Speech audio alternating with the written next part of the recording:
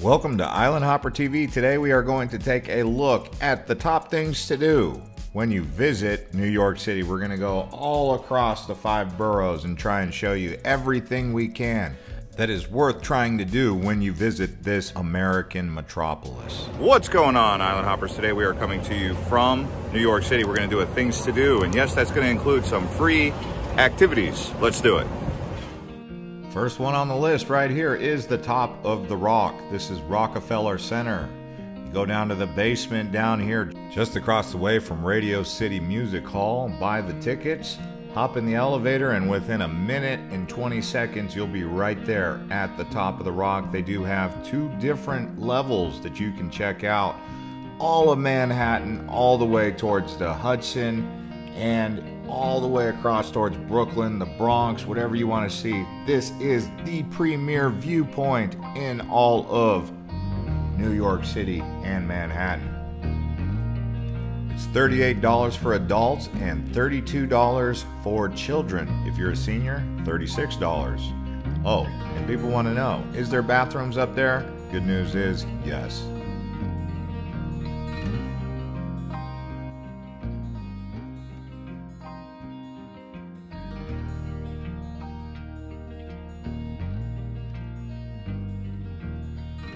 Next up on the list is going to be the Statue of Liberty. Now, what would a trip to New York City be without visiting this iconic American landmark right next to Ellis Island, where they used to bring the immigrants in, process them through this area of New York City? It's actually right next to Staten Island.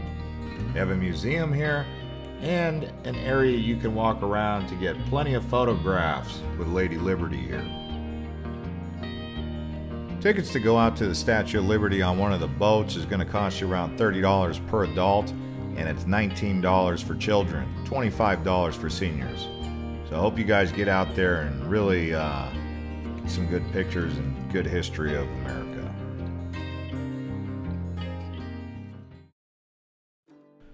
Next up on the list, Times Square. We call it Time because it's after the New York Times. So Times Square here is actually a free area you can walk around. There's no charge, no cost. And this is really one of the premier areas in all of New York City and America for people to come check out, visit, take pictures, and see all of the energy and the lights down here on Times Square. Times Square you'd want to see at night and in the daytime. It takes on two different types of vibes, especially when you see it at night with all the lights. One of the most famous things you will do during New Year's Eve anywhere in the world is watch the ball drop from Times Square.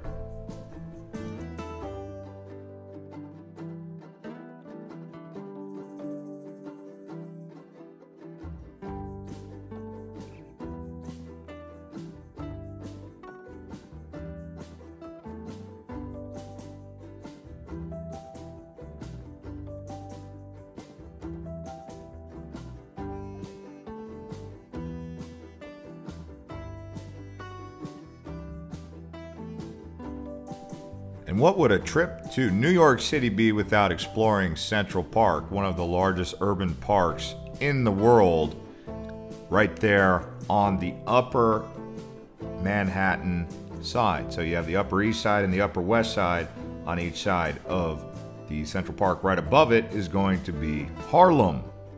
I don't think most visitors to New York fully understand just how big this place is. It's 843 acres. There's a lot to see here. This park is home to artificial lakes, waterfalls, meadows, even wooded areas. You really feel like you're in the middle of the forest right here in Central Park at times.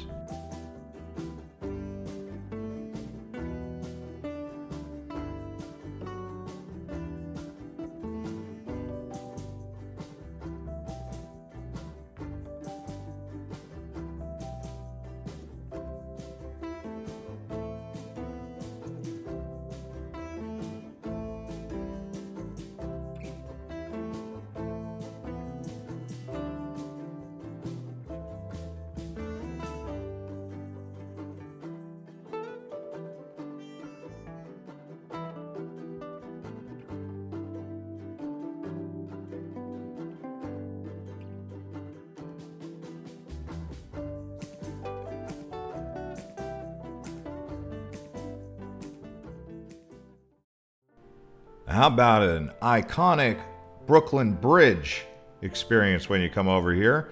So, the Brooklyn Bridge is a hybrid cable suspension bridge that crosses the East River between Manhattan Island and Brooklyn towards Long Island.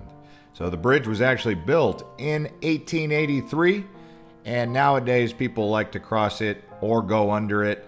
It is really an iconic landmark right next to the actual Manhattan Bridge.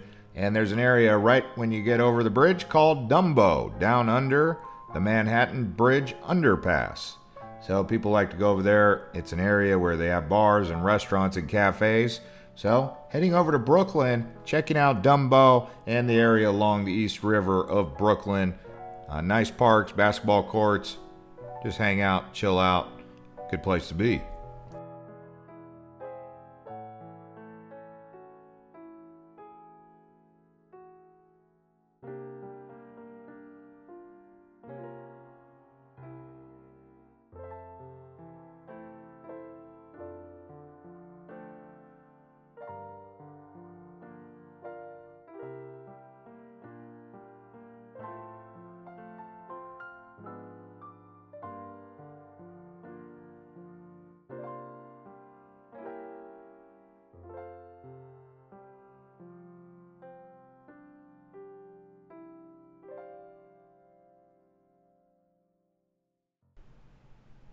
And here we have a new area that's kind of come up on the list over the last few years known as Hudson Yards.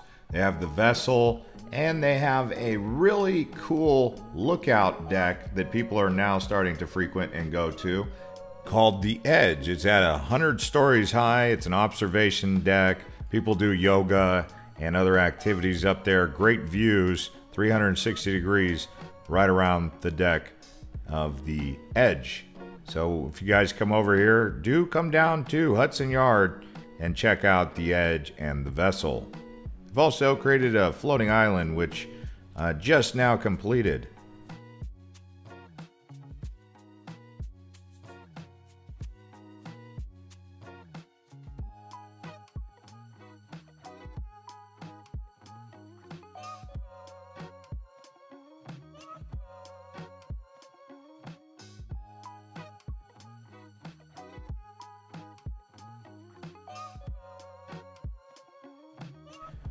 And here's the deal when you come to New York City, shopping is going to be something you've been told to do or maybe even want to do, but shopping Fifth Avenue might just be on the top of your list just to say you did it. Uh, Saks Fifth Avenue, but there's many different high-end retail stores right here along Fifth Avenue. You could see they've got it all. You name the the name brand and it's right here on this here Fifth Avenue.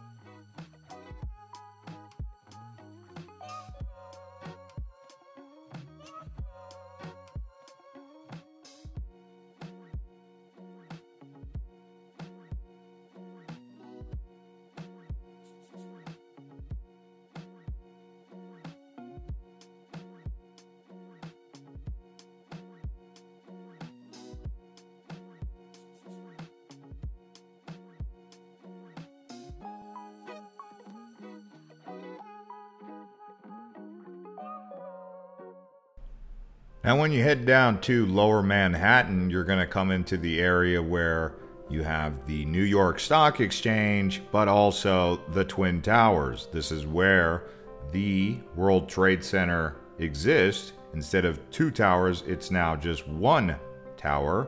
But they have the monument here, they have the Oculus. This whole area is a place that you will want to at least check out when you come to New York City.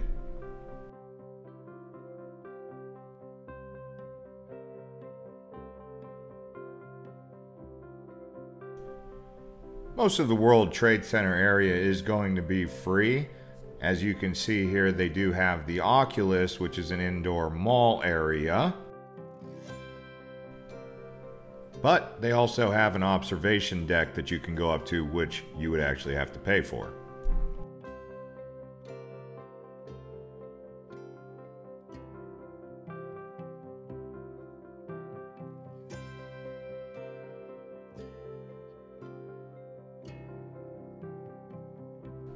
Now, around New York City, they do have some beaches. One of the most famous beaches is going to be Coney Island. So, there is a beach here.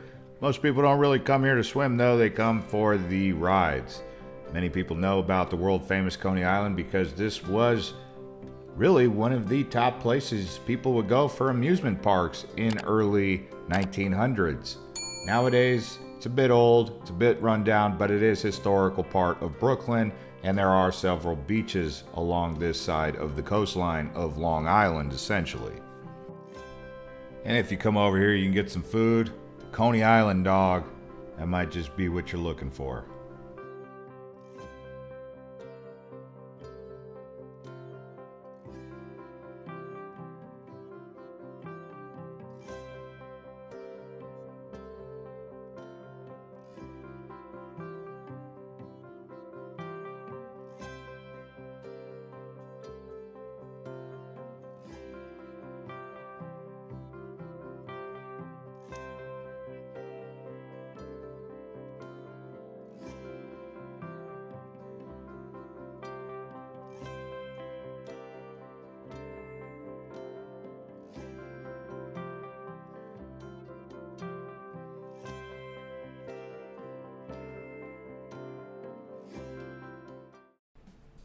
And when you come to New York City, you're going to want to check out all the many museums they have. They have the Museum of Modern Art, then they have the Art Museum over there in Central Park, they have the Brooklyn Museum.